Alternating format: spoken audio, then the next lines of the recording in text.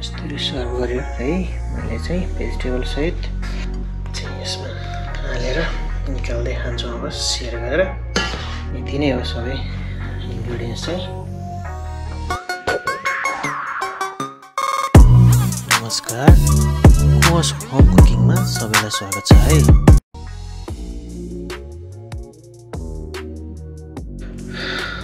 यो सबै सामानहरू चाहिँ म यहाँ स्पेसल कोयल बिरयानी बनाउन गइरहेको छु। बट्टाईको बिरयानी। यो बट्टाई चाहिँ मैले मरमसला हालेर म्यारिनेट गरेर राखिसकेँ। तिन चार घन्टा भयो। चार घन्टा आदि यो चामल पनि तिन घन्टा भयो लगभग भिजेको। यो चामल चाहिँ चार कप छ। अनि यो चिकन स्टक। यो पनि घरमै बनाएको। अनि यो घिउ। यो पनि घरमै बनाएको। अनि यो मसलाहरू पिनेको मसलाहरू यसमा सबै थोक यसमा अदुवा लसुन जिरा धनियाँ सुकिया खुर्सानी अनि जाइफल ल्वाङ सुकमेल दालचिनी सबैको मिक्स हो यो चाहिँ। अब यहाँ फ्रेस पनि छ नपिनेको पनि छ यो चाहिँ सुरु सुरुमा फुराउन हो। मेथी छ बेसार छ आधा आधा चम्चा बेसार र मेथी आधा आधा चम्चा यो गरम मसला छ आधा चम्चा काटेको स्लाइस गरेको लसुन छ तिनपट्टि यो सानो सानो पारेर काटेको अदुवा छ अनि हरियो खुर्सानी छ अनि यहाँ झुरा पारेको यो गाजर छ धुलो खुर्सानी छ अनि यता आएर यो धनियाँ छ यो लास्टमा हाल्नुपर्छ अनि यो फ्रेस भेजिटेबलहरू यो चाहिँ लास्टमा हाल्ने हो सबै। यसमा चाहिँ हरियो र रातो खुर्सानी छ। ठुल्ठुलो ठिकै खालको पिरो हुन्छ त्यति पिरो हुँदैन। अनि अर्को पिरो हरियो खुर्सानी अनि यो बेबी क्यारोट। होइन सानो सानो क्यारोट यो आधी आधी पारेको छ। अनि यो ब्रोकोली अनि यो प्याज यो लास्ट पछिको लागि हो यो होइन? यो पनि पछिको लागि हो यो बक्सो थोरै छ। अनि तिनवटा गोलवटा काटेर राखेको छ मसिन पारेर अनि एउटा ठुलो प्याज काटेर राखेको छ है अनि यहाँ ब्ल्याक पेपर पनि छ छुटेको प्रिपेयर गर्न खुब टाइम लाग्यो। यो सबैको म सबैलाई मिलाएर बिरयानी बनाउने हो। सुरु गरौँ। त्यसको लागि मैले पट पनि रेडी बनाएर राखिसकेको छु। पकाउन सुरु गर्छु म अब। अब यो स्पेसल कोयल बिरयानीको लागि थोरै तेल सुरुमा। तेल तात्यो यसमा अब मेथी।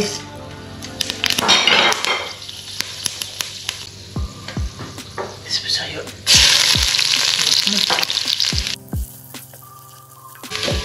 लसुन कालो हुन थाल्यो। खुर्सानी दुइटा त्यसपछि यो सिनामन दालचिनी अनि तिन चारवटा सुकमेल तिन चारवटा लोहाङ तेजपत्ता प्याज ठुलो प्याज एउटा।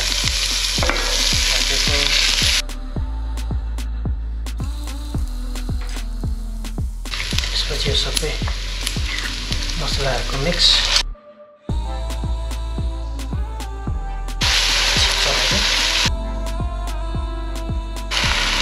बेसार आधी मात्र हाल्यो। नुन पनि एक चम्चा मात्रै हाल्नु मैले। गरम मसला सबै हाल्ने काटेको अदुवा काटेको खोर्सानी ठुलो खोर्सानी। त्यसपछि कोयललाई म्यारिनेट गरेर कोयला हाल्ने त्यो छवटा बट्टा छ एक किलो। मसलाहरू त्यसको माथि फेरि गोलबडाहरू हाल्यो।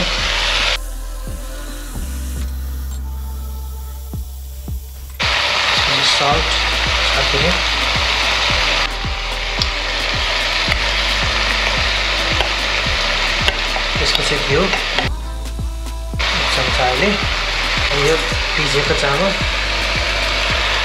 तिन घन्टा अहिले भिजेको चामल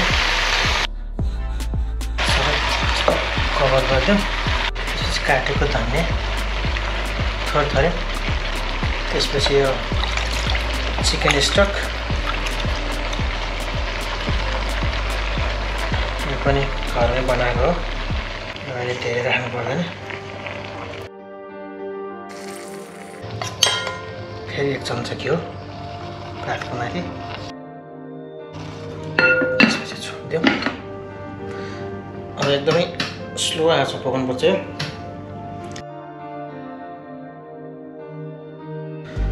अब यो बिरयानी खोलेर कस्तो भयो माथि माथि त पाक्ने चान्स छैन अहिले होइन तर ठिक ठिकै भएको छ माथि नै अब यसलाई अलिअलि। मासुको भित्रभित्र पनि छिरोस् चामल।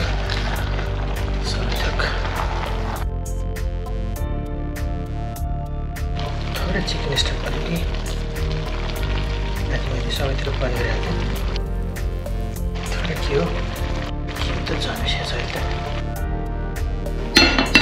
फेरि स्लोमा पकाउँ। चामल हालेको र पन्ध्र मिनट भयो। अझै लाग्छ होला। दस पन्ध्र मिनट त। फेरि फोनमा आउँदै जाए चलाइदिउँ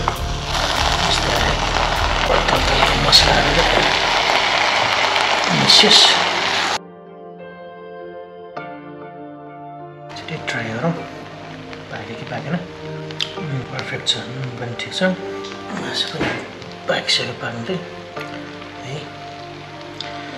त्यही पनि एकैछिन यसलाई यस्तै सानोमा अझै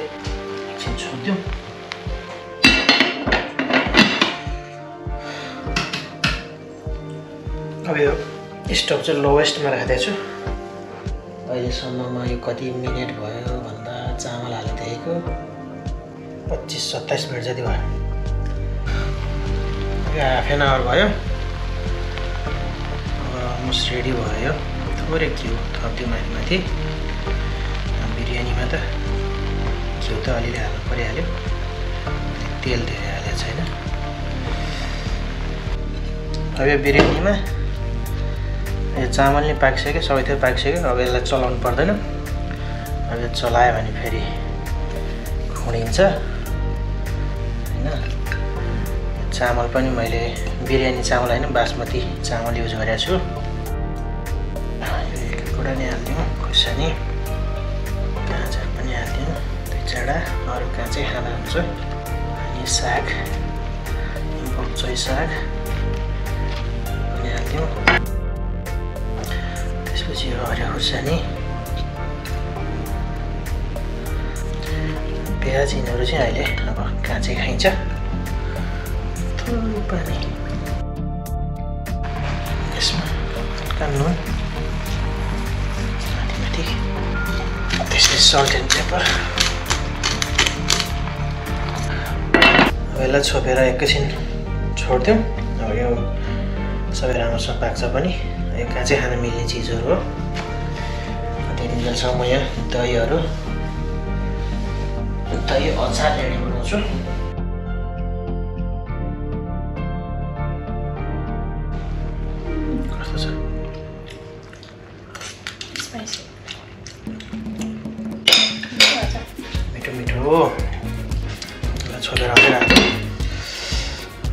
सेल हुन्छ यो सबथोक पाक्यो। निकालिदिउँ अहिले त्यही खाउँ खाउँ लाग्दो। खुट्टा ठाडो परिरहेको छ यहाँ यो भेजिटेबलहरूलाई ठ्याक्क यसरी निकालिदिउँ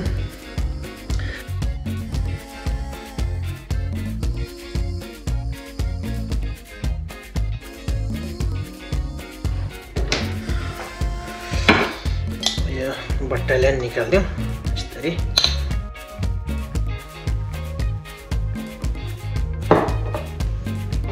यसरी हामीले दही पनि रेडी बनाएको छौँ खानालाई अब एउटा काम छ यहाँ माथि लास्टमा गाजर छरिदिउँ कलरको लागि राम्रो पनि देखिन्छ अनि धनियाँ चलाइदिउँ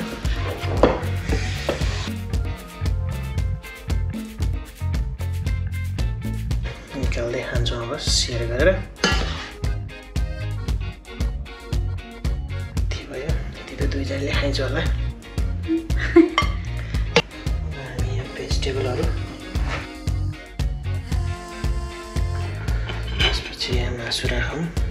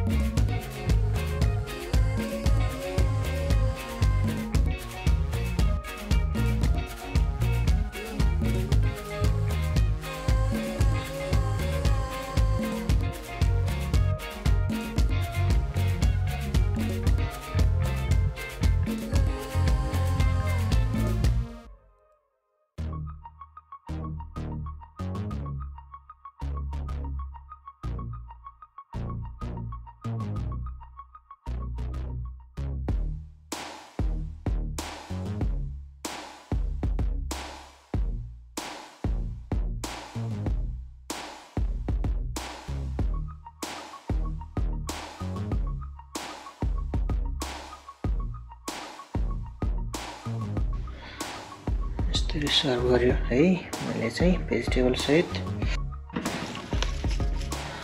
धनियाँ अलिअलि। यति हो हामी चाहिँ अब दही अनि हामीसँग के छ अरे माछाको चाहिन्छ त्योसँग हामी खाइन्छ अब अहिलेलाई गरौँ निकाल्दाखेरि खस्ला जस्तो भइसक्यो प्याकको त उस्तै है। बिहाको त्यस्तो हुन्छ। अनि यो घाँटी चाहिँ लामो आन्द्रा जस्तो घाँटी।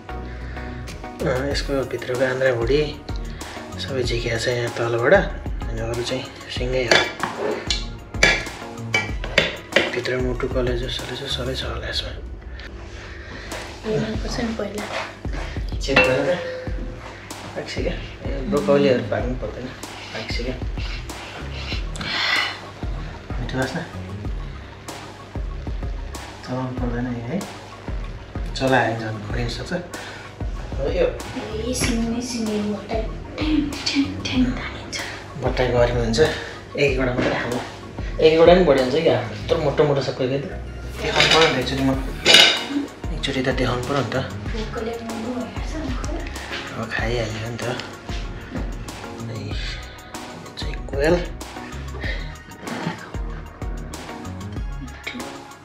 होइन यसबाट पनि फोटो खिच्नु पर्ने छ अब एक दुइटा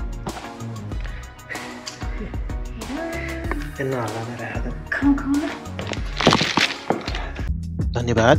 यतिन्जेलसम्म यो भिडियो हेरिदिनु भयो आउँदा भिडियोहरू अझ राम्रो होस् भन्नका लागि र हामीलाई थप हौसला प्रदान गर्न तपाईँहरूको सल्लाह सुझाव राम्रो नराम्रो के लाग्छ उल्लेख गरिदिनु होला त्यसका साथै कुनै पनि भिडियो नट नछुटोस् भन्नका लागि युट्युबमा गई यस च्यानललाई सब्सक्राइब गर्न चाहिँ नभुल्नु होला है।